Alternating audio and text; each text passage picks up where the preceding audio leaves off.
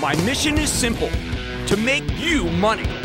I'm here to level the playing field for all investors. There's always a bull market somewhere, and I promise to help you find it. Mad Money starts now. Hey, I'm Cramer. Welcome to Mad Money. Welcome to Cramerica. I'll do my friends. I'm just trying to make you a little money.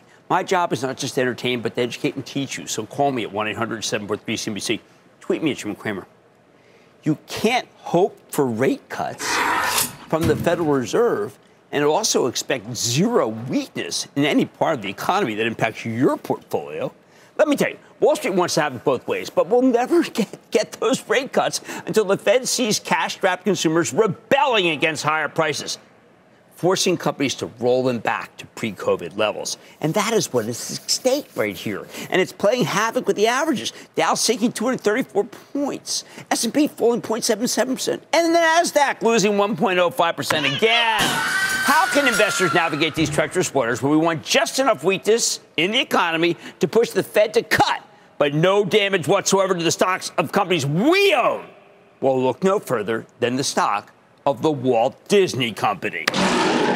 I follow Disney very closely. We own some for the Charitable Trust. I like it in part because of the price. Disney traded at 123 and change back in March. Board shareholders, especially the big index funds, voted against Nelson Peltz, canny investor who wanted to join the board and offer advice on cutting costs and reorganizing the business. Now it trades at 86. And it sure, even here feels precarious as no one seems to care at all about the value of this story franchise. Today, the company reported what looked like on the surface a terrific quarter. and Initially, the stock jumped five bucks in pre-market trading. Then Disney quickly reversed and only finished the day down four dollars. Not really not unlike the Dow Jones average, where things looked real good in the morning, then dripped lower the rest of the day emblematic. Disney's actually the perfect microcosm for the moment. They've got a bunch of important divisions like movies, where Disney's crushing it. Terrific schedule. I think like huge hits like Inside Out 2, Deadpool and Wolverine. Seems like the movie drought's over. ESPN held in with ad revenues up 17%. Good news, despite the cord cutting. But what got me excited about the company's results? The amazing profit, a quarter ahead of time from Disney Plus. I figured it would disappoint us again and maybe even again. And we hear the usual refrain only Netflix knows streaming, Disney will never get it together. Wrong. Move over Netflix or at least slide over a little because Disney Plus pulled it off, delivering a real profit, did so a quarter earlier than planned. That to me was the real story of the day. But uh uh not in this kind of market. If Disney was so good, you're probably wondering what the heck did the stock get beaten black and blue today for? And the answer is exactly why we need a rate cut. And we need a rate cut right now. The consumer no longer seems willing to pay for, up for these storied and treasured family friendly theme parks.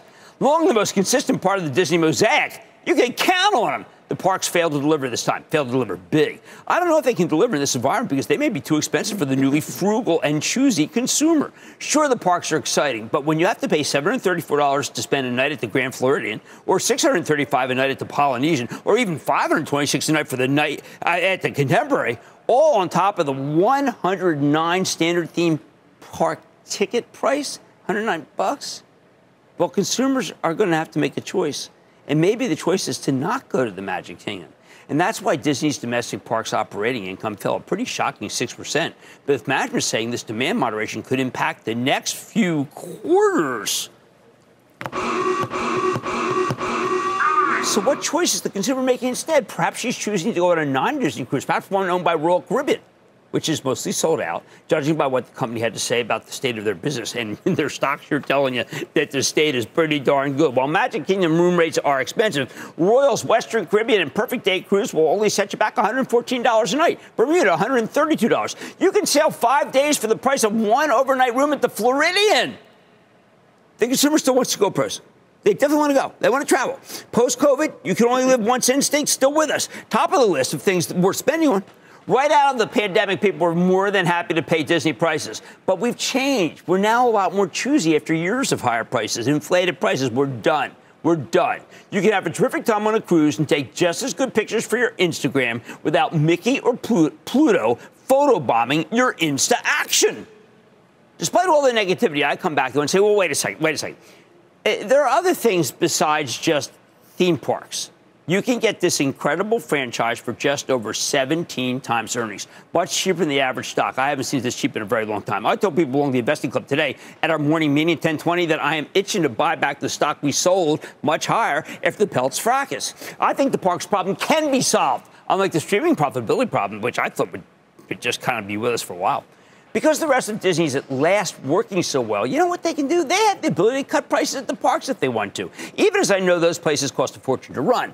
And I'm confident that the Fed will cut rates, which could take the pressure off the consumer away from the parks. What happens then? Well, I think Disney's parks bounce back because it's not like they've lost their relevance. It's not like they've stopped being great places to go. They're just more expensive than the alternatives, like cruises. Fortunately, Disney has a cruise line of its own. It's expanding, but not fast enough. And the gross margins on new ships with, are getting in, well, they're not as attractive as the broken in ships. Of course, I brought up Disney not just to harp on the fact that I think it's a bargain here. And yes, if it goes to 80, it'll be more of a bargain. I brought it up because it's emblematic of problems that many companies are having. One of my favorites, Airbnb, told us just last night that it's seeing a slowing in domestic bookings again, something that's new, something that's worrisome.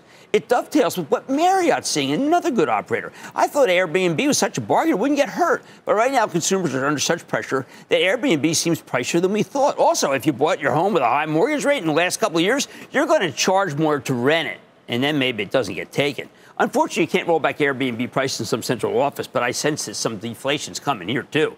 Now, we know the consumers odd sometimes in making her choices. I mean, she's still spending a ton on Ubers and is willing to pay through the nose for, for restaurant food deliveries, accepting the toll that DoorDash charges on each sale. Why? You know what?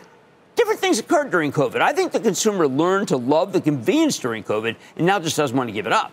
When you hear economists talk about this process, you know what they call it? They call it normalization. The end of all sorts of exaggerations we saw because of COVID or the perhaps the post COVID supply chain hangover. The consumer got real liquid from doing nothing during the pandemic and was willing to accept the higher prices at theme parks, but that's no longer the case. We have what I call an empowered consumer. And that consumer is going to force rollbacks on price by voting with their feet. She isn't mad as hell and not going to take it anymore. She's just mad at some options and happy with others because they're cheaper and better. Bottom line, the Fed can rejoice and stretch the time before it cuts rates until it sees the Disneys of the world cut prices en masse, or it can anticipate what's going to happen and move now. I think it does the latter, but the consumer's still not going to come back to Disney World until the Grand Floridian drops to the price of the Polynesian and the Polynesian dips to the price of the Contemporary. Until then, the stock will languish like so many companies that have tried to hold the line on high prices because that's now a losing proposition, a losing proposition to which both Wall Street and the consumers rebelling. Let's go to Luke in Louisiana. Luke. Booyah, Mr. Cramer. Booyah, Luke. What's going on? It's good to talk to you. I'm, I'm calling about IBM, Big Blue. I uh, I usually just bet on LSU to beat Arkansas. and That's candy from a baby. But I've been looking at IBM and the market cap has been holding here for 20, 25 years. Now I'm hearing about quantum computing. I'm hearing about that they're the forerunner in commercial security. Is quantum computing the real deal? Will IBM, Big Blue, uh, you don't need quantum computing to be you don't need quantum computing to be the real deal. They are just executing like uh, they are executing like a fast Gillette razor. I got to tell you, I really like what's going on there.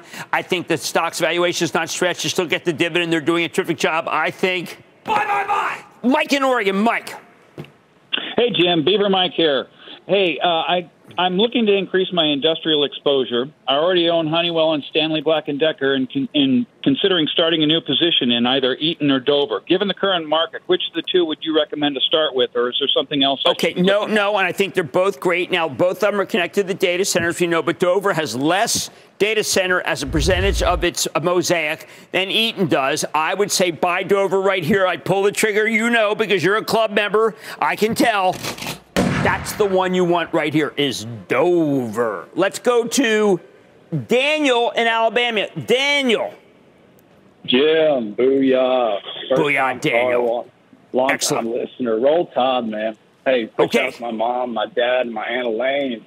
Hey, so my question is on Moderna, all right? So pre-pandemic buyer, I've seen the process. I've trimmed along the way. Get a little knee jerk with price action recently. What do you think about that one, outlook wise? Okay, I think that Moderna, I was hoping they could use AI to solve the puzzle here, but Moderna's not producing the personalized cancer vaccines that I thought they would. And that is a lot, like a lot of other people, we feel let down by the company. We feel let down that Miss, that Miss Bancel, Stéphane Bancel, has not been able to crack the code of cancer with personalized vaccines and that's why that stock keeps going down. All right, listen, the Fed can rejoice and stretch the times before it cuts rates until it sees the Disneys of the world cut prices en masse. That's one way to look at it. Or it can anticipate that that's what it's going to happen and start cutting interest rates real soon. Oh, man, buddy, tonight, CVS Health chopped its 2024 forecast for a third time this year, with the stock heading lower on the news. I'm checking the company's vitals in my post-earnings exclusive. Then the stock of Celsius has been a dog lately, but what the heck? They just reported another record quarter. What's going on? I'm talking to the CEO. And Devon Energy is moving higher after earnings. I'm drilling down on what's next for what could be, end up being the premier independent oil company in this country. We'll sit down with the company's top brass. Stay with Cramer.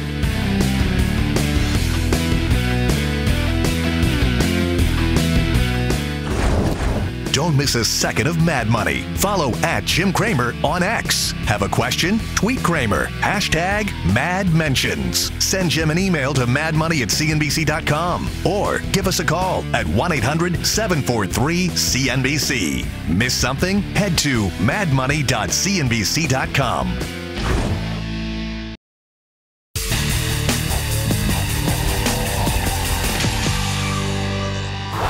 right, what's it going to take for CVS Health to turn itself around? We know the drugstore space has been in trouble, but this is the drugstore that's done the most to diversify away from its core business. And at the moment, right now, it may not be working. This morning, CVS reported, and while the results were pretty solid, they also cut their full year earnings forecast for the third time because their managed care business, the old Aetna, is under pressure. Management originally guided for the earnings of at least 850 per share at their investor day last December. They cut it at least to 830 in February before cutting it again to at least seven in May, and now they're saying maybe 640 or 665. Very hard. But what's the broader plan to turn things around? And we know it can be turned around. So let's go straight to the source with Karen Lynch, the president and CEO of CVS, to find out. Ms. Lynch, welcome back to Mad Money. Thanks, Jim. Nice to see you. All right, so Karen, that, that's a tough litany, we know. Uh, we know you're also up to it because you are taking direct charge of the area that a lot of people feel is now causing some problems, which is the healthcare benefit segment. Don't want to get the cart before the horse, but you've solved a lot of the problems so far, even since we talked to you in January. But now this one's popped up. Yeah, Jim, let's just take a step back. I think okay. you have to look at the, the totality of the business. You know, many of our businesses are performing well. Our retail business, our pharmacy business, performing well. We have the best market share that we've ever had. And our Caremark business, our PBM, doing well, had a very solid uh, performance in the quarter.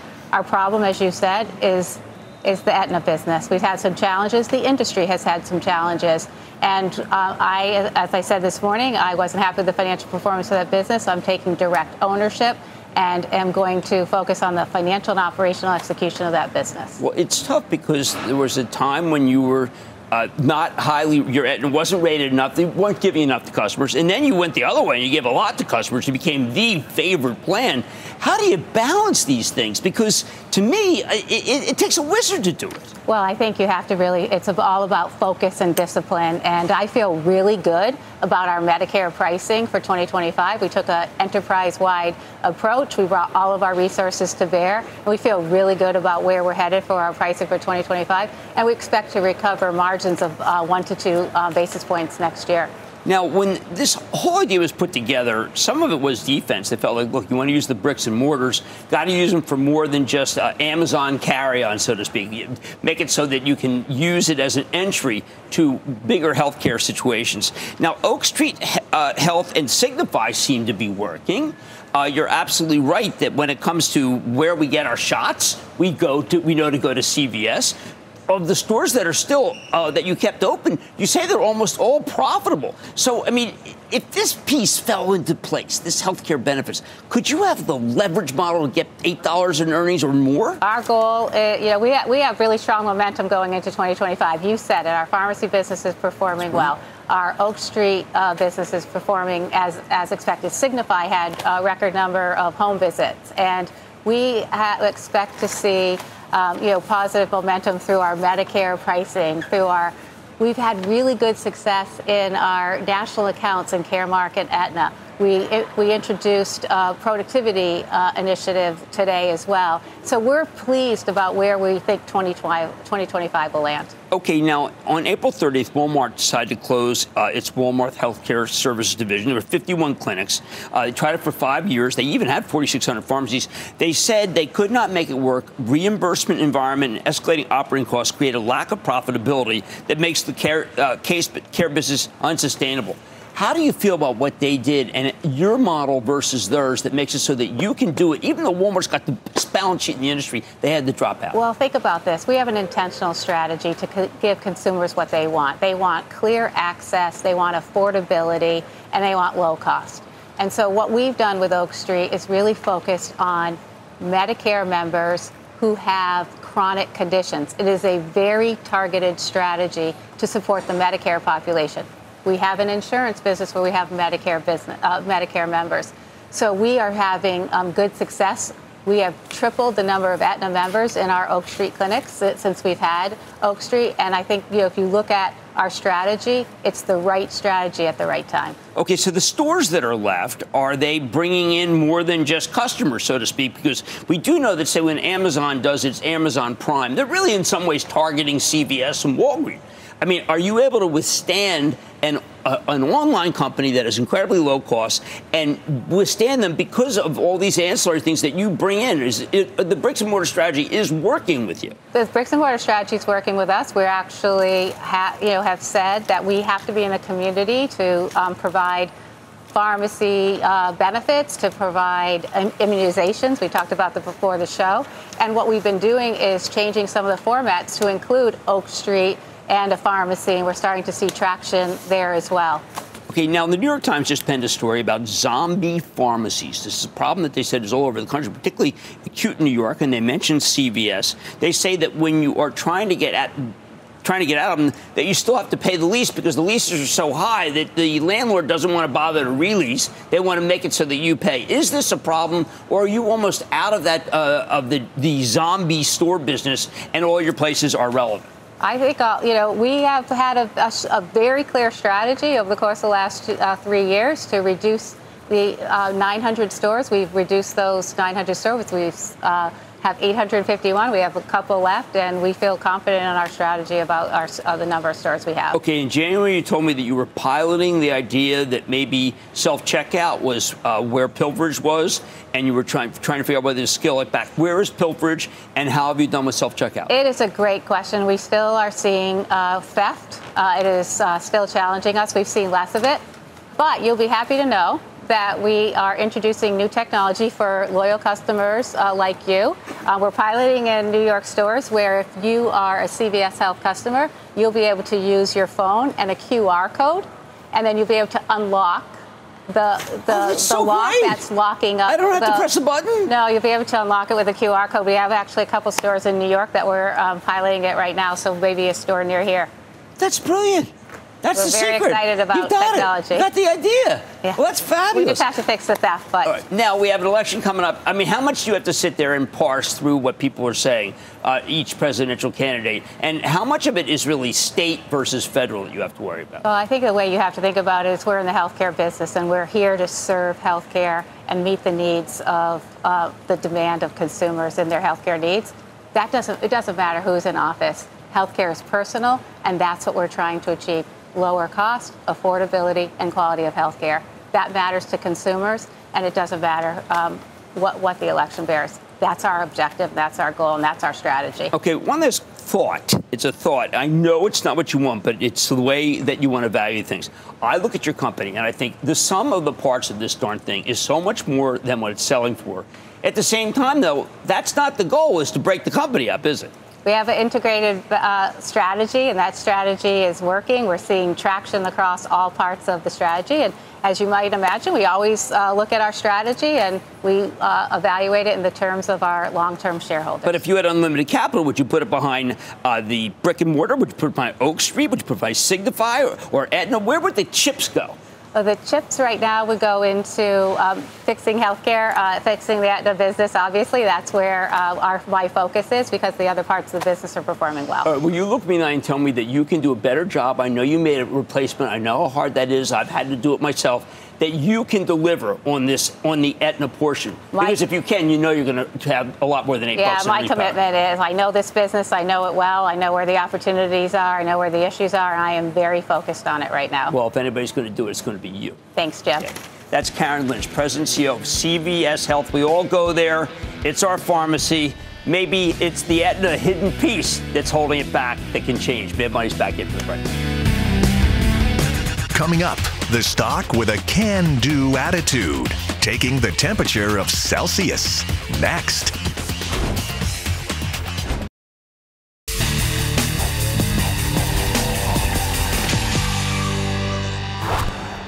Okay, what the heck is happening to Celsius? It's formerly a high flying energy drink maker seen its stock plunge from the 90s in May to the high 30s today. Now, some of that's purely thanks to the rotation out of fast growers with enormous gains. Celsius has become a prime target for profit taking because it's still up more than 2,500% over the past five years.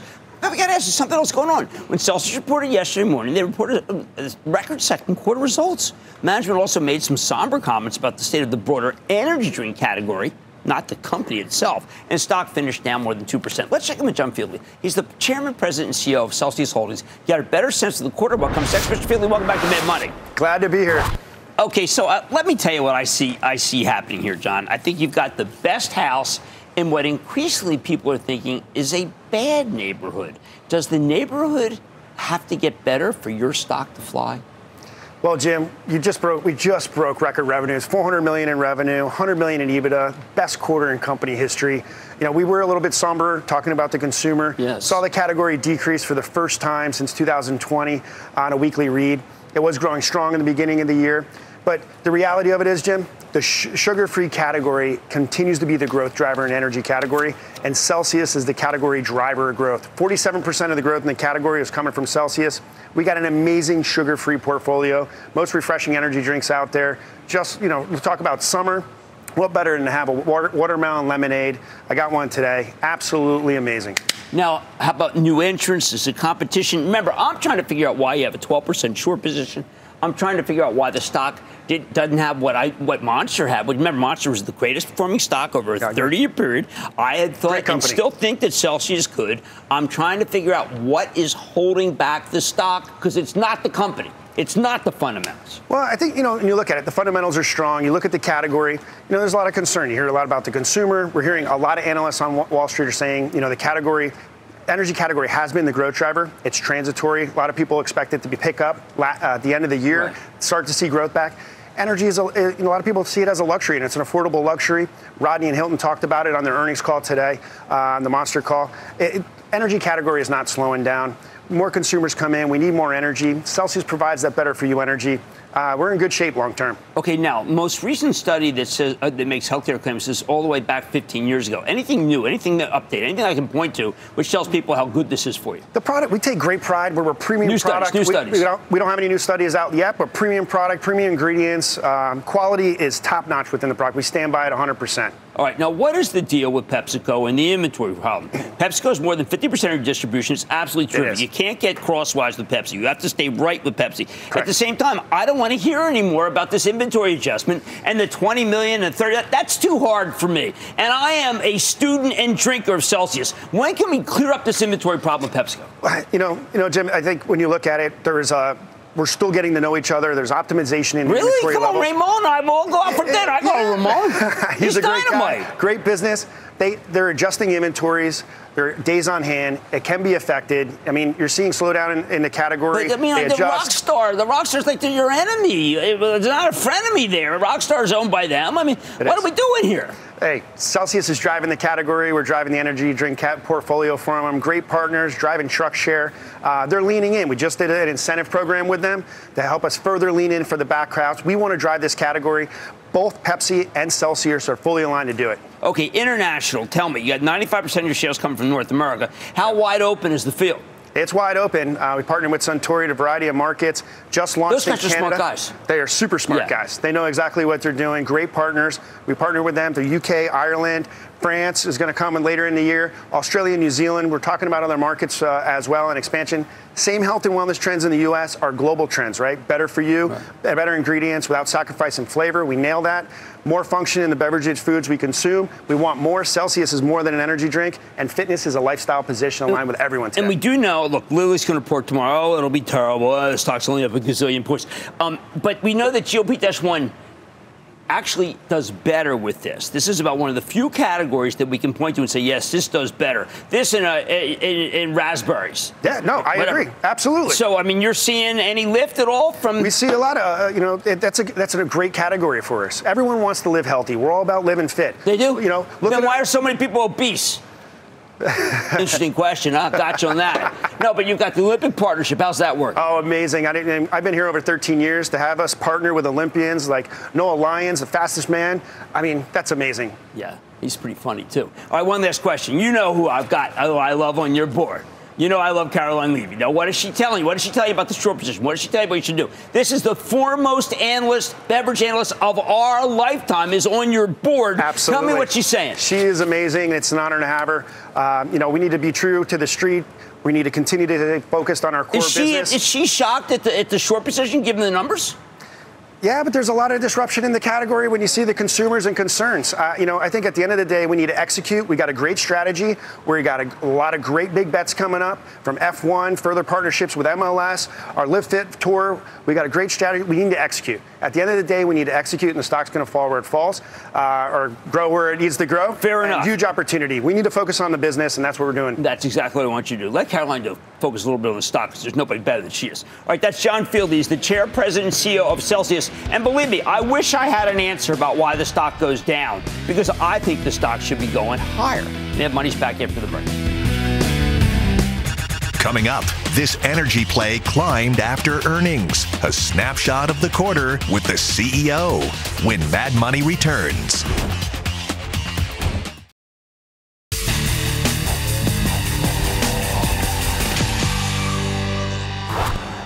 Past month, the energy stocks have been clobbered by falling oil and gas prices. Wall Street's freaking out about a potential recession. That's what happens we're at least worried about a meaningful slowdown. But I got to wonder if this isn't the great buying opportunity we need, because every sign of weakness at this point simply gives the Federal Reserve more reason to cut interest rates, and that sends stocks back up, particularly oil stocks. What might be worth buying here? How about Devon Energy? Heavy hitter in the exploration production space. Reported a strong quarter last night, probably one of the best in the oil industry, if not the best. It was a 15 cent earnings beat off a $1.26 basis, higher than expected production, especially oil production. On top of that, management raised their full year production guidance. In response, the stock jumped almost 3% today in a kind of a lousy day. More important, once the Fed starts cutting rates, you know I think that this could go much higher. Plus, when Devon makes much more money, you know what? They give a lot of to the shareholders generous variable dividend structure, and share repurchase commitments. So let's take a closer look with Rick Muncrief, the president and CEO of Devon Energy and an old friend of the show, to see what's going on. Mr. Muncrief, welcome back to Mad Money.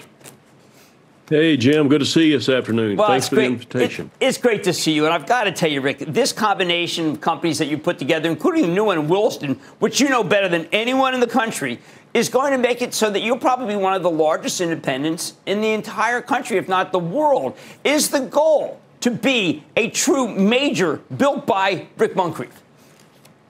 No, Jim. You know that's that's that's nice to say, but the reality is our, our our mission is let's build a good company. Let's build a great company and one that's uh, we run the right way.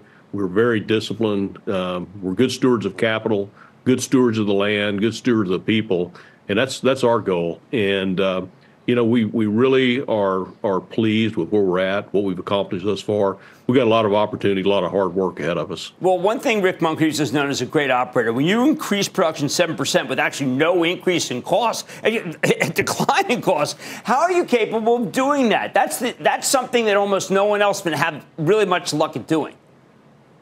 Well, Jim, it comes down to assets and people. And, and I can tell you that we have some tremendous assets – in the five basins that we operate in. It's headlined by the Delaware Basin out in the Permian, and we have some of the best acreage out there. You know, you don't have to just ask us; you can ask anyone else. Uh, but it's also the people, and you have to have the right people, the right background. And I can tell you the the combination we did four years ago, we've got the best of the best, and uh, really pleased with how how things are going. We had to hit the reset button quite honestly, right. you know, about 12 months ago, tighten a few things up. We've done that and I'm incredibly proud of where this organization's at right now. Okay, when you made a recent acquisition in the area that I said you know, Williston, some of the there were critics who said maybe you gave too much stock away. Some people don't really understand Williston; they want to stay in Delaware, but you've always got that basin. Why were you so attracted to that, and even willing to part with stock, which I know you find very dear? Right. Well, the the transaction was two thirds cash, two thirds uh, excuse me, two thirds cash, one third third stock, and so uh, that's that's what the what the buyers preferred, and so we went back and forth with that. But that's where we landed. We're comfortable with that. We think it's uh, a great investment for them as well. But we really think it uh, strengthens the company. It adds inventory for us. It's oil weighted inventory. And to some of your comments earlier in your introduction, uh, oil and uh, is where the margin is right now. Natural gas has got a, a great future. But some of us, including myself, spent the first 25 years of our career, 30 years of our career, uh, with natural gas based companies. And we always, uh, the future always looked bright. And uh, today, the margins are, are, and have been for quite some time, quite honestly, Jim, have been with crude oil. And so for us, having a crude oil weighted acquisition to strengthen our already crude oil uh, weighted company, it's a great fit. It, it does build us some more scale, uh, gives us more scale, more inventory. And on top of that, Jim, what a lot of people don't understand is um, with a 300,000 acre position, that is a quite large position that we're getting with this recent transaction our geoscience team, geologists, are really excited about what future potential, even outside of the Bakken, lies. Because if you recall, uh, 10 or 12 years ago, when, when you visited with us up in the Bakken, uh, it was that was some of the early days of Bakken development, but the basin was 50 years old. There have been other there have been other horizons we've been producing from, and so we're excited about what lies ahead on that acreage, and, and, that'll be for the next generation and, and the one behind that, you know, uh, to uncover. But it's going to be exciting. Well, Rick, you told me at the time in 2011 that what would occur is, is, that you might find a lot of oil, but you know what? There's not a lot of transport out of the basin. Has that improved enough to make it so it's worthwhile to do a lot of drilling there? Yeah, so I think uh, what we did is we did over time build out infrastructure and so right now, the Williston Basin's in a great spot. We've been producing over a million barrels a day for several years now. Good takeaway capacity, good infrastructure, and it's just a great place to operate. Wonderful, uh, you know, uh, regulatory environment. And so we're, we're just, it's just a great place to, to do business. Now, we found uh, when Mr. Trump became president, a lot of people felt that would be terrific for oil, but it, what it did was unleash the, dis- people got undisciplined. And you told me that. It, people kind of went nuts. They drilled and drilled and drilled, and that drove the price down. Right now, there is good discipline. Could that happen again if Trump is elected president? Well, I think, you know, excuse me, Jim, uh, where you saw a lot of the activity increase, quite honestly, was with natural gas producers. I think if you look at uh, in the Permian Basin, we did see a couple things were going on. Number one, people had to hold their acreage. So either you go out and, and drill to hold that acreage or you potentially lose the leases. There was a certain amount of that. There were also a large number of independent producers, the non-public producers that that um, really looked at that at that price signal as a as an opportunity to really increase activity, and they did increased uh, increased activity, increased production. Most of the public pr- producers, we, we held our discipline, as we said, and that that worked out pretty well. In on, on top of that, a lot of the uh, the private operators actually have been have been bought out, have been have sold to some of the public entities. So I think what you're going to see in the future is more and more discipline uh, you know, and I think even the natural gas producers uh, saw uh, prices spiked.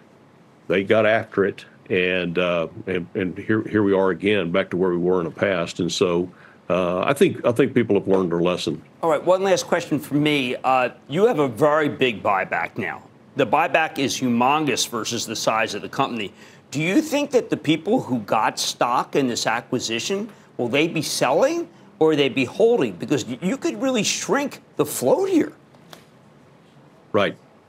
Well, I, th- I think our plan is let's let's just uh, it, we think it's a great use, uh, use for capital. We have this excess cash flow that we're that we're continuing to generate. We will, you know, we we recall, we run everything on a mid-cycle oil price of $75. And so whether we're at, you know, down in our low break even in the 40, $50 range, all the way up to 100, you know, we think the, the 75 is a good mid-cycle price to plan your business on.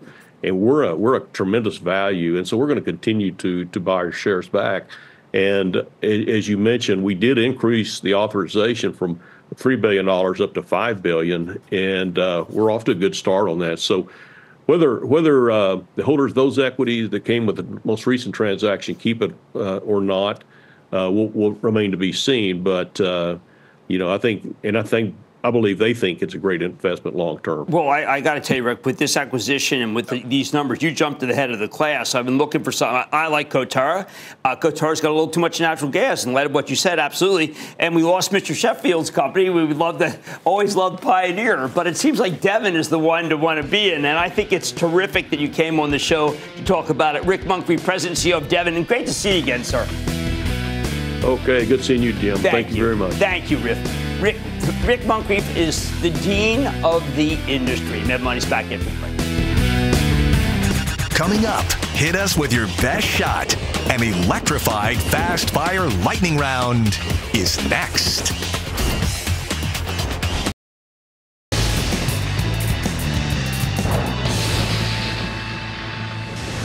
It is time. It's time for the light round quiz. This is for Cole's Rock Partner. We're seeing Miss Hawk said bye bye bye. So, just figure out the close score. Start my staff. Go play on later. And then the lightning round is over. Are you ready? Ski dash over the lightning round quiz. Let's go to Sandy in Tennessee. Sandy. Hey, Jim. Big booyah to you. Glad to have you on the show. What's going on? Doing well. Thank you for asking. How can I help? All right. Can you throw some lights on light on Dollar General, DLTR? Dollar dollar dollar tr- DLTR is Dollar Tree. Okay, the problem with Dollar Tree is that people I think have discovered that the small form is no longer working. They rather go to Walmart, which is a buy, or Costco if they can afford the membership fee, which they should because it pays back quickly. Nathan in Oregon, Nathan. Hi, Jim. Hey, thanks for all the advice. Of course. I wanted to ask you about this stock. Uh, last year you recommended this one, and I bought it for my dividend portfolio. The stock is up 20% since that time. With a P of 18 and a 4.8% yield, should I add more? Uh, the ticker symbol is OKE, ONEOK. I think ONEOK is terrific. I would indeed buy more. I think it's a sensational company. Does, I'd rather have a yield over five, but 4.77 is real good. Chad in Wisconsin. Chad. The main Jimmy Chill. How you doing there, Jimmy? Chill man, chill man here. Chill man ready to work for you. What do you got? Oh, an extended booyah weekend here, matter of fact. It's synthetic. Hey, uh, it's synthetic Thursday yeah, yeah, right. So anyway, the question I have uh, is a company, medical supplies company. Uh, it's been performing quite well. I'm kind of at neutral right now. It was making a fairly decent consolidation on the way up in price. Looked pretty good, but now I'm starting to wonder. Minus today's, you know, overall stock correction, uh, the stock name is Dextron. Dextron? Dexcom. Yeah, DXCM. Oh, De- Dexcom. Okay, look, Dexcom had a real bad miss. They still really haven't fully explained why that is. I've got to tell you, I give you a reason why. One of them is because of Abbott's Libre, which is just crushing it. So anyway, I'd stay away from Dexcom. I need to go to John in Kentucky. John. Hey, Jim. John from Kentucky. John, what's happening? listener and a real fan of you and your shows. Matter of fact, oh, I don't believe you. I'd still be in the market without you, man. Oh, thank you, man. That's you what I need. I need you in the market. We have days like today where you got to start thinking, hey, maybe I can make some money here. What's going on? Well, I own CRISPR technology, CRSP. Uh, okay, CRISPR, I happen to have a sweet spot for. I do not think that it is as dangerous as others think because it does have some explosive technology. I would be a buyer of CRISPR. Let's go to Stan in Illinois. Stan. Hi, Jim. Stan from Peoria, Illinois, charter member right. of the club. Oh, thank and you, Stan. we got to work harder for you. Got to work harder. Up all night tonight. Oh. Okay, write that down. Okay, what's going on? Well, I've owned uh, Regional Bank KeyCorp for the dividend, currently 5.7%, but the stock's stuck in a 14 to $16 range. I'm wondering, should I keep it? Yes, definitely keep Key. Key is very, very strong. A terrific, terrific bank. I wish Mr. Gorman would come on. I know that board too. They're ter- eh, they are fabulous. And that, ladies and gentlemen, is the conclusion of the Lightning Round. The Lightning Round is sponsored by Charles Schwab. Coming up, crypto was crushed in the sell off, but Cramer's not throwing in the towel on tokens. More next.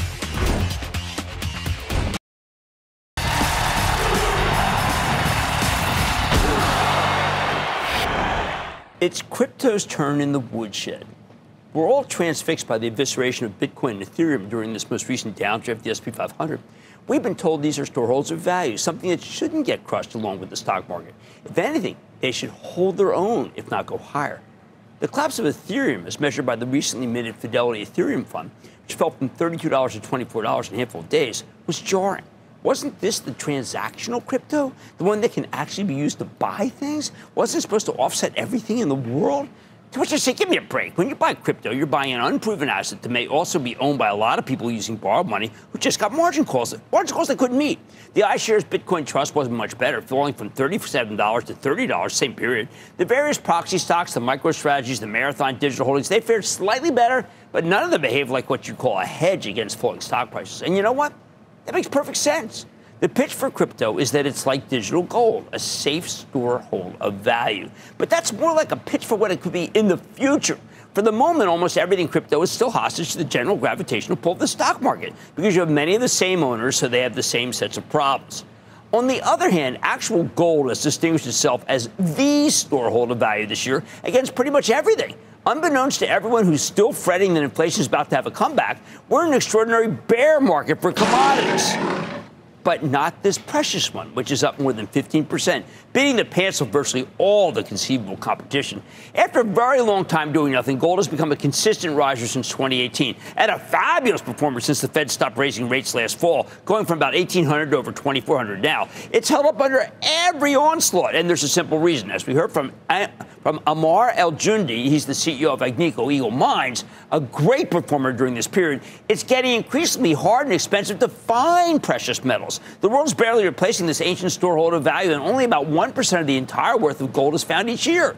There's true scarcity value, something crypto can't truly provide as an asset class, or at least that we don't think it can. In fact, gold has become so difficult to find that most of the miners have performed poorly themselves because their costs are too high. Of the majors, the only one that's delivered consistently is Agnico Eagle, and that's because they mine chiefly in their own backyard of Canada, where costs are under control and there are far fewer mistakes made than their compadres. The stock's up double the price of gold this year. Meanwhile, we aren't sure of anything crypto, despite what the apostles say on television or in their myriad ads. For example, we show this price of Solana, a crypto coin, every day. But does anyone even know anything about it? There's no clamoring for a Solana ETF. It's just out there getting promoted by who knows who or why. But gold, it's a beloved metal, something we can see by how Costco sells out of its members only gold bars every day before most customers can get them.